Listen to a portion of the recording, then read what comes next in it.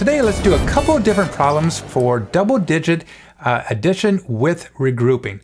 So right now, what I want you to do is the problem, we'll kind of choose a problem like this. 5 plus 4.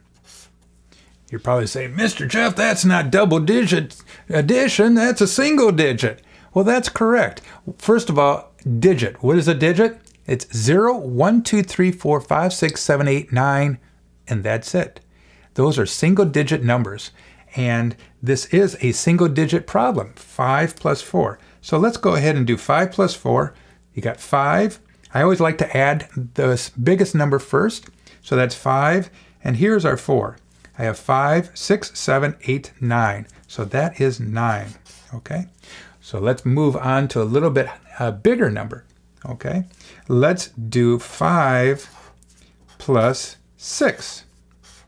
So once again, I am going to add the bigger number first, and 5, I like to put dots down. It's kind of easy, kind of easier for me to add that way. So I have 6, 7, 8, 9, 10, 11. So now I have a double digit answer, which is 11.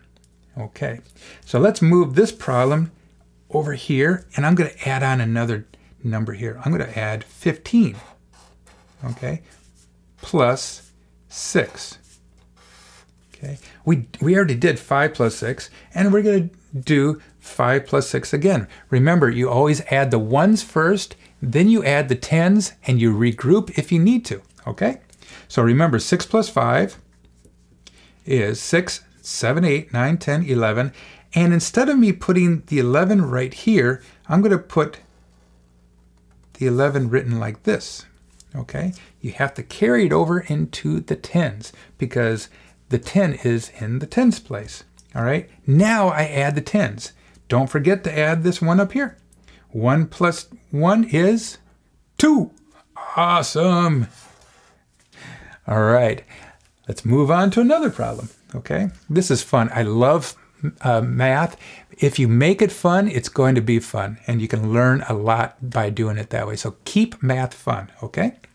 So let's go 25 plus 18. Hello, kitty. You'll see my cat in the videos. My cat loves my cat loves doing math. He loves checking out to see what I'm doing. So you'll see him in a lot of my shows. Okay, let's get back to the lesson here. 25 plus 18. Remember, we add the ones first, okay? Now you're like, wow, there's a bunch of numbers here. This is getting a little bit confusing. It's okay. You can take a paper like this and cover it up. Now I have 8 plus 5. I'll put some dots here for 5. 8, 9, 10, 11, 12, 13. Now 13 is going to look like this. Okay? I put the 3 here. And I take that 1 and I put it on top in the tens place. Because this is the ones right here, and this is the tens place right there. So I want to put that one in the tens place. So I put it right here. Now I add the tens place. And if you get confused with all those numbers, you can cover it up like this. Now that is easy. You have three numbers to add right here. So it's one, two, three, four. Don't forget about that number right there. One, two, three, four. So I put my four right below here in the tens place. And 25 plus 18 equals 43. All right. You guys are becoming math pros. I love it. Let's do a two more, okay? Okay, let's do a number like this. 36 plus 36. If you want to, you can pause the video right now and do this problem. All right. Okay, let's get right into uh, solving this. First of all, what do I add? Do I add the ones first or the tens first? You're right, we add the ones first.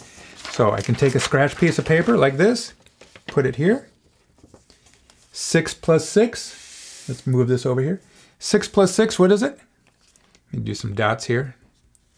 I don't have to go like this. I don't have to go 1, 2, 3, 4, 5, 6. No, you already know that's 6. Just add on the other number. 6, 7, 8, 9, 10, 11, 12. Okay? Make sure you visualize your numbers. It makes it a lot easier later on when you're starting to memorize your numbers if you can visualize them. And I like to visualize numbers using dots. So whatever way you like doing it, keep it that way. All right, 6 plus 6 is 12. Remember, my answer is going to be looking like this, 12. I put the 2, this the 2 right here. Remember, that that's in the ones place. This is in the tens place. Put the 2 in the ones place. Take the 1, put it in the tens place. Put it right on top of there. Don't worry, it's not going to fall over.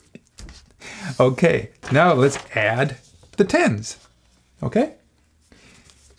3 plus 3 is, it's a double fact, 3 plus 3 is 6. Plus 1 more, 7. 7 sent from heaven. There you go. 72. 36 plus 36 equals 72. All right, let's do another one here. We got one more to do. 45 plus 27. Okay? Go ahead and pause the video and then you can do that problem on your, uh, by yourself. Okay, we unpaused it. All right, let's go do it. Okay, you don't you guys know what to do, right? Of course you do. Let's go do it.